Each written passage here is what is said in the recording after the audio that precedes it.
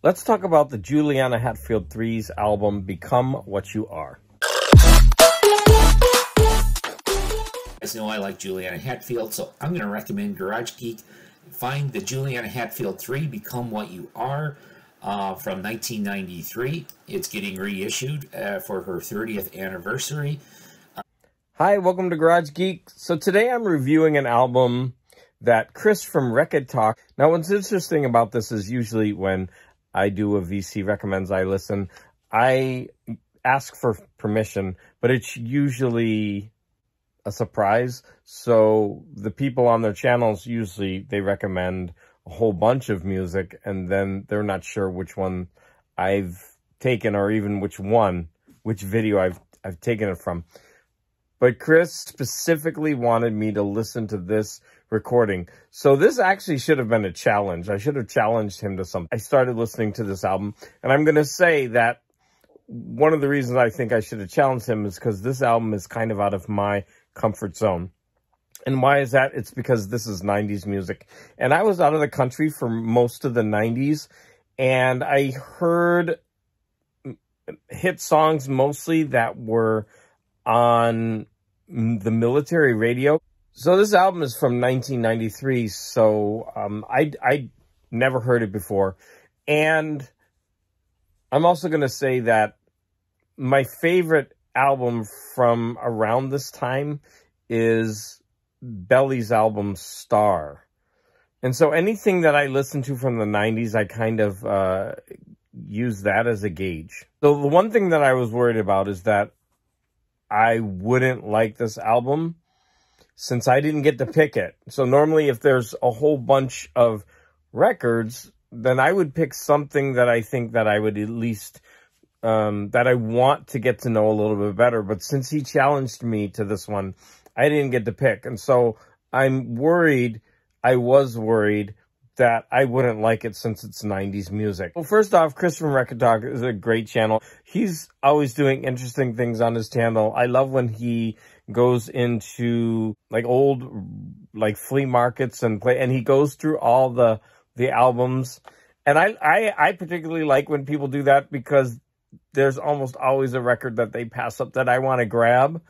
Um and that's so frustrating, right? But he has all kinds of content. I um I like his five uh five records in five minutes, but he says five records in five minutes.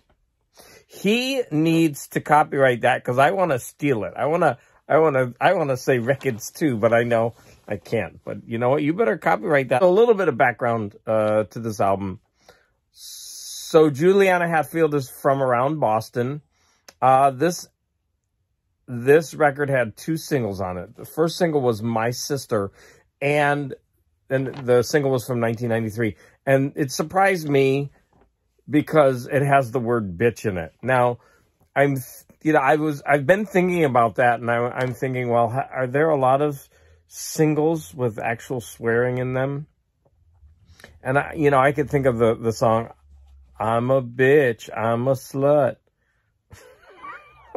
Wait, that, I don't know if the way I'm singing it sounds right or not, but, um, what's that song anyway?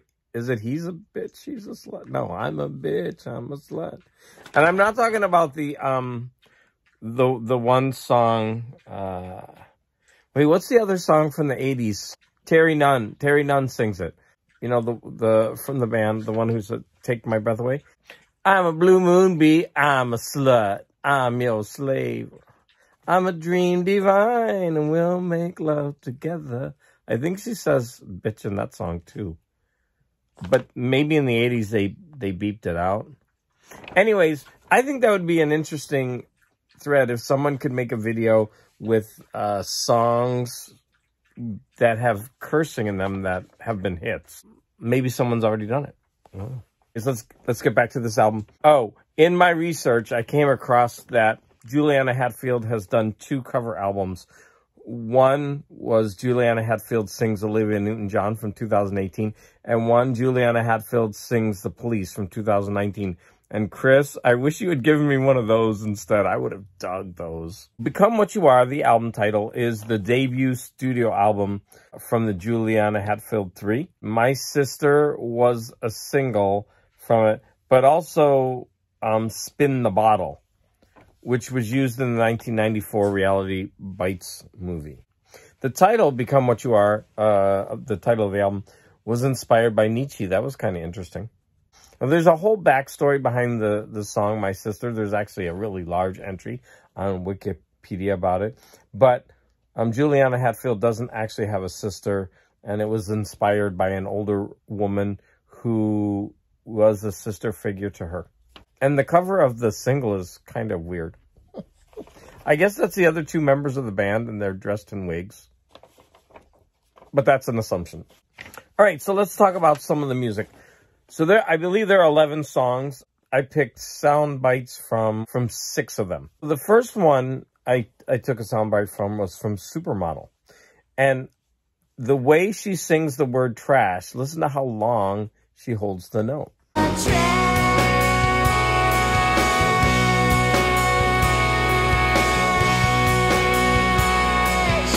So you can tell that she definitely has a good voice. The next song, My Sister, is again her biggest hit. So let's go ahead and listen to a snippet from that.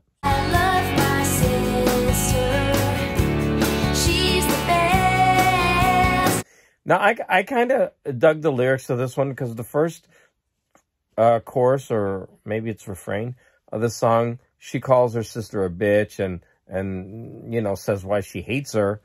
And then the next part of the song, she's she uses the same refrain, but she reverses the lyrics. She says how she loves her sister and, and everything that she did for her. So to me, the, the writing was really interesting because it rings true about how people in our lives at, at certain times we hate them and then we love them, but we can't do without them. The the next song that I'm going to give a, a soundbite from is This Is the Sound. And this one had a really, really catchy um, beat to it.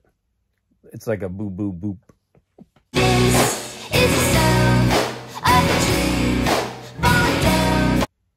So in the fourth soundbite, we're going to hear how she can hit a higher note. Let's go ahead and listen to this soundbite from Mabel.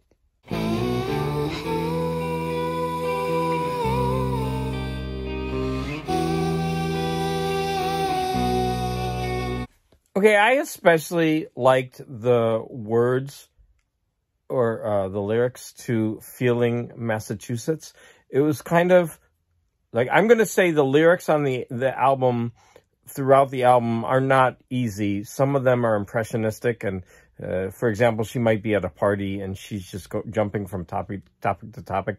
So sometimes it's difficult to understand what the words are exactly about or what they exactly mean for example, in uh, Massachusetts, it seems like she's just wa wandering around and she's experiencing emotions as she walks uh, around. And um, at one point in the song, she references a poem. Um, I think I shall never see a poem as lovely as a tree. And since I love poetry so much, I'm just going to read the entire poem.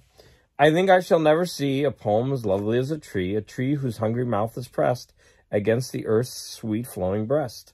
A tree that looks at God all day and lifts her leafy arms to pray. A tree that may in summer wear a nest of robins in her hair. Upon whose bosom snow has lain, who intimately lives with rain. Poems are made by fools like me, but only God can make a tree.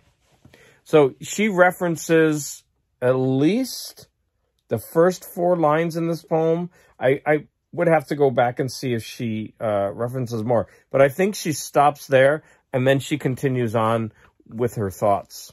So this poem is by Joyce Kilmer.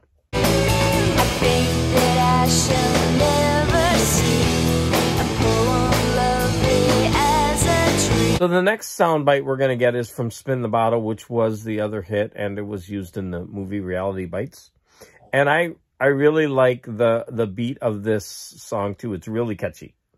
Do do do dee do do do dee do do do. Tell the truth, I dare you when it comes around.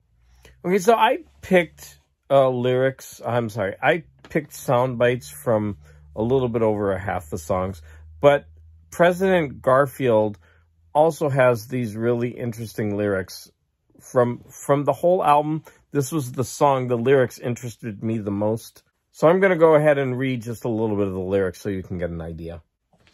I don't smoke, so why am I smoking? Took a hit and now I'm choking. He wrote a book about himself. I keep it on my shelf. And when I was in Washington, I walked down all the streets of which he wrote. So again, the lyrics kind of flow from one idea to another, jumping. It reminds me of, uh, what do they call that style of literature? Stream of consciousness. So what are my final thoughts on this album?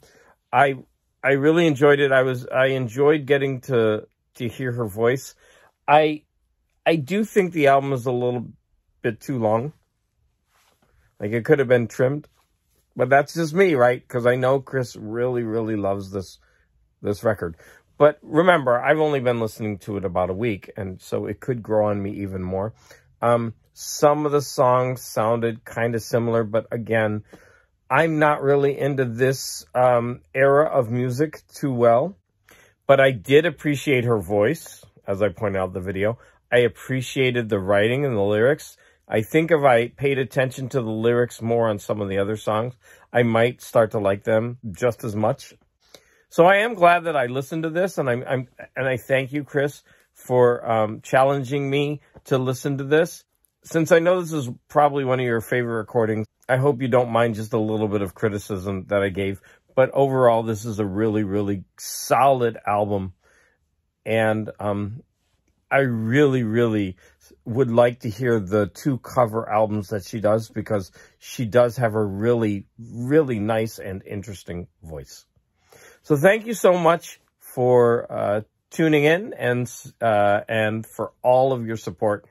And Chris, I would love to do an actual challenge with you.